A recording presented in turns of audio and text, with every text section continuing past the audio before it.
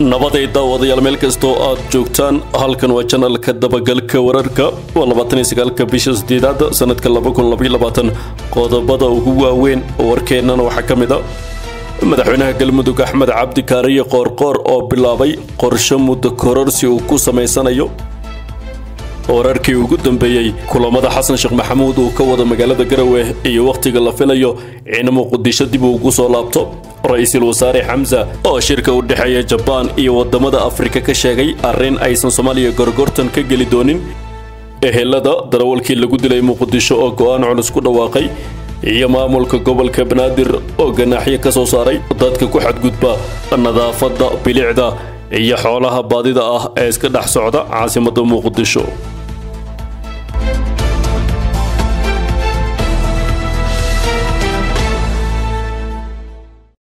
intaasi saaxiibayaal waxay ahaayeen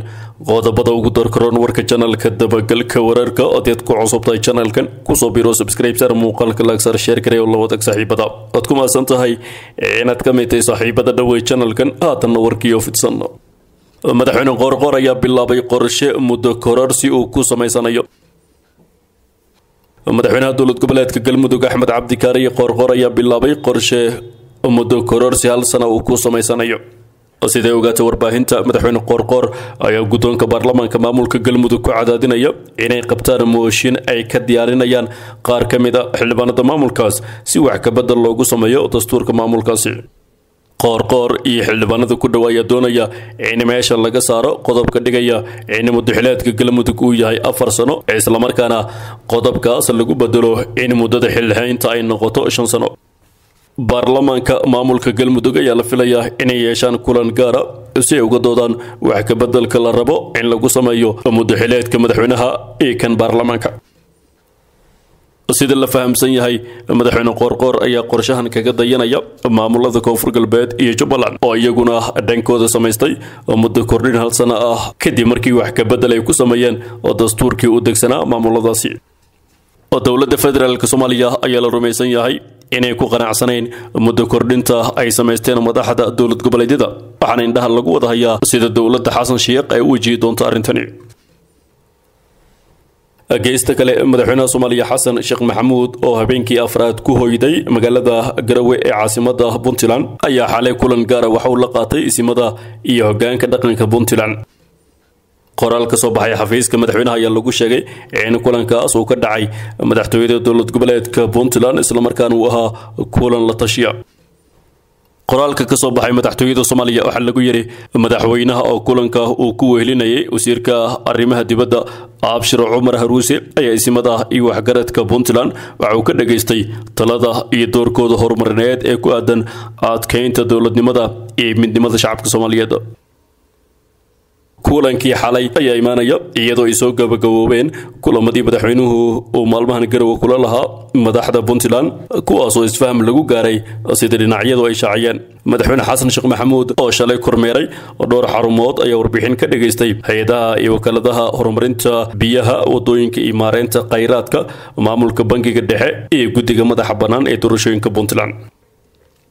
Maanta gelinka hore ayaa la sheegay in madaxweyne xasan sheekh maxamuud uu dib ugu soo laabanayo magaalada muqdisho. Safarkiisa oo marka hore waxaa la qorsheeyey inuu qaato laba maalmood oo keliya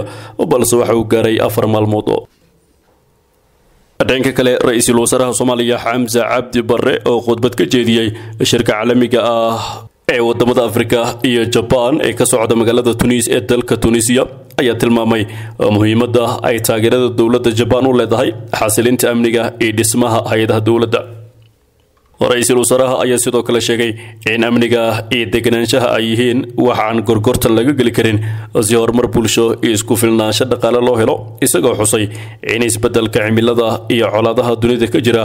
ay saameyn xoogan ku yeesheen nolosha bulshada. Xilli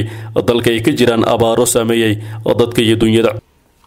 Mudane xamsa ayaa xusay ahmiyadda ay leedahay taageerada dowladda jabaan ee xilligan si looga miro dhaliyo hadafyada waaweyn ee laga hiigsanayo dhinacyada amniga wax ka qabashada colaadaha abaaraha isbeddelka cimilada. Ra'iisul wasaaraha xukuumadda soomaaliya ayaa intii uu socday shirka caalamiga ah ee waddamada afrika iyo jabaan kulamo duceedyo kala duwan waxa uu la yeeshay madaxda ka qaybgalaysa shirkaas isagoo kala hadlay xoojinta xiriirka iskaashiga ka dhexeeya wadamadaasi iyo soomaaliya dhanka kale ehelada darawalkii lagu dilay muqdisho ayaa ku dhawaaqay go'aan culus ehelada marxuum maxamed axmed barrow oo maalin ka hor askari ka tirsan ciidamada dowladda uu ku dilay magaalada muqdisho ayaa sheegay in meydkaysan aasi doonin ilaa intaa ay dowladdu cadaaladda u soo taagayso askarigii dilay wiilkooda.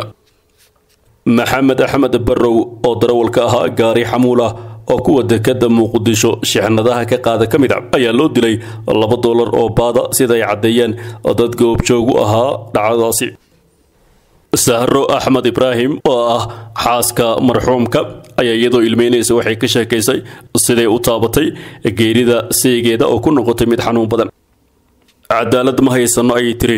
Ninkii dilay ilmahayga aabbahood dowladda ayuu ka tirsan yahay. Lamana soo qaban. Ilaahay iyo dowladda waxaan ka baryayaa in ninkii ilmahan agoonta ka dhigay cadaaladda la soo taago. Waxaa xanuun igu haysa qofaad hadda quraac siisay ee markii uu ka tegay meydkiisa laguu soo sheegay. Laba doolar iyo wax la mid ayaa loo dilay. Ninkii dilayna magaalada ayuu ku baashaalayaa ay tiri sahra aabe axmed barrow oo ah aabbaha dhalay wiilka la dilay ayaa sheegay in wiilkiisa uu korsanayay lix carruur ah. Islamarkaana askari ka tirsan dowladda si bareer ah uu u toogtay cod dheer ayuuna cadaalad ku dalbaday. Waxa uu aabbahan carabka ku adkeeyey in meydka wiilkiisa aan la aasi doonin ilaa inta dowladdu ay cadaalad horkeynayso askarigii dilay isagoo sheegay in farinjiyeer uu ku jiro meydka ugu dambeynna maamulka gobolka banaadir waxa uu soo rogay ganaaxyo lacaga. Maamulka gobolka banaadir ayaa soo saaray awaamiir cusub oo gudaha magaalada caasimadda ee muqdisho looga mamnuucayo wax kasta oo xadgudub ku ah nadaafadda bilicda iyo xoolaha baadida ah ee iska dhex socda caasimadda go'aanadan ka soo baxay maamulka gobolka banaadir ayaa sidoo kale waxaa lagu sheegay in la ganaaxi doono hadda kadib guri kasta oo ku xadgudba bilicda caasimadda lacag dhan labaatan dolar halka meheradaha ganacsiga la ganaaxi doono lacag dhan soddon dolar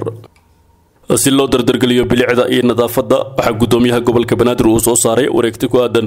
dardargelinta nadaafadda iyo dib u soo celinta bilicda magaalada muqdisho oo ku socota agaasimaha guud gudoomiyaasha degmooyinka dadweynaha ku nool gobolka iyo taliska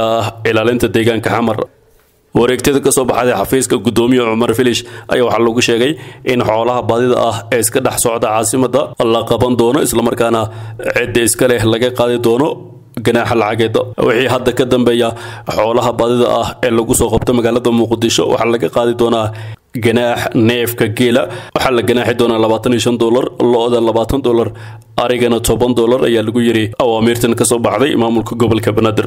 Go'aanadan ayaa imaanaya xilli maalmihii la soo dhaafay roob mihigaan ah ay ka da'een magaalada muqdisho ee caasimada soomaaliya kuwaasoo biyo dhigay. Qaar ka mid a waddooyinka waaweyn iyo jidadka xaafadaha gudaana saaxiibayaal waa naginta warka janalka dabagalka wararka oo diyaad ku cusubtahay janalkan ku soo biiro subscribe sar muuqaalka lagsar sheer garee oo la wadaag saaxiibada. Waad ku maasan tahay inaad daawato warkan mid ka xigintan ku kulmi doono nabadgelyo